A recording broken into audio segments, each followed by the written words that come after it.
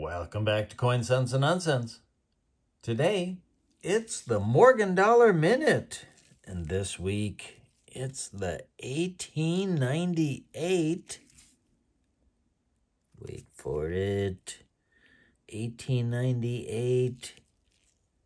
Oh, look at that reverse. Oh my.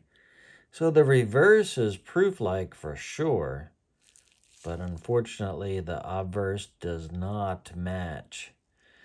So there are some interesting varieties or weirdness going on there. There's a little bit of a die crack or some kind of a runner going there.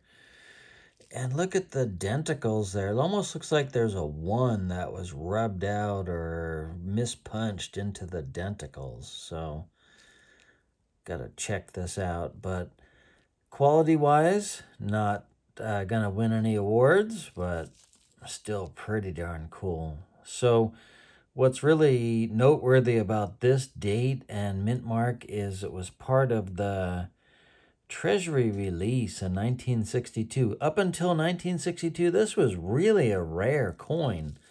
They minted 4,440,000 of these, but not a lot of them are released until the 60s, so kind of cool. This one's really baggy, so anyway, thought it was kind of cool to share for the Morgan Dollar Minute. Lots of VAM to check out, but nothing that's really worth a lot of money, so, uh, but still cool nonetheless. So thank you so much for watching Coin Sense and Nonsense, and until next time, bye. Bye.